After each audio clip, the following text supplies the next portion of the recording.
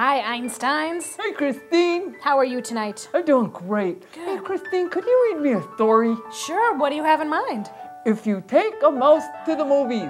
Oh, by Laura Numeroff. Pictures by Felicia Bond. Yeah, that's my favorite. Oh, it's one of my favorites, too. Let's see here.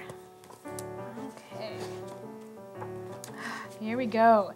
If you take a mouse to the movies, he'll ask you for some popcorn. Yeah, I would too. Oh, yeah. When you give him the popcorn, he'll want to string it all together. Then he'll want to hang it on a Christmas tree. I love it. I love hanging popcorn on the Christmas tree. I do too. Sometimes I nibble on it, just a little. Really? Isn't it a little stale? No, it's okay, and then I can floss all at the same time. Excellent. Excellent. You'll have to buy him one. On the way home, he'll see a snowman in your neighbor's yard. He'll want to make one of his own. I love doing that. Then he'll need a carrot for a nose. Yep. Yep. When he's all finished, he'll decide to build a fort. Then he'll ask you to help him. That looks like a giant snow mouse. It does. It's got big ears. Yes, it does. Look at that fort. It's huge. It's huge. Ah. I could live in a fort like that. You could. It'd be a little chilly though. Then he'll want to make some snowballs and have a snowball fight. He looks like he's pretty good at snowball fights. He does. There's a lot of snowballs Yeah. there. Playing outside will make him cold. He'll want to go inside and curl up on the couch.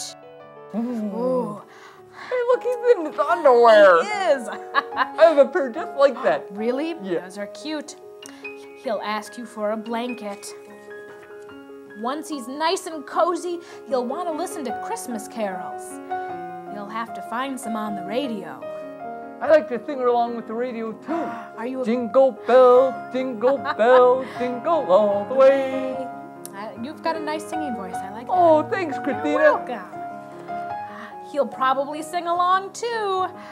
The carols will remind him of his Christmas tree, so he'll want to make ornaments. Oh, he doesn't like sound look like he likes the singing though. I don't think he sounded as good as we did. No, not at all. I think you're much better. Thanks. You'll get him some paper and glue. He'll ask you for glitter. It looks like a mess waiting to happen. It does. When the ornaments are done, those are some pretty ornaments. Yeah. He'll hang them all up. Oh, it looks like a lot of ornaments. It does. Then he'll stand back to look at the tree. Whoa, that's Oh, a really a lot of ornaments. It's falling over. He'll notice his popcorn string is missing. Oh no. Oh, So he'll want to make another one. I don't blame him. He'll ask you for some popcorn. And chances are, when you give him the popcorn, he'll want you to take him to the movies. Yeah.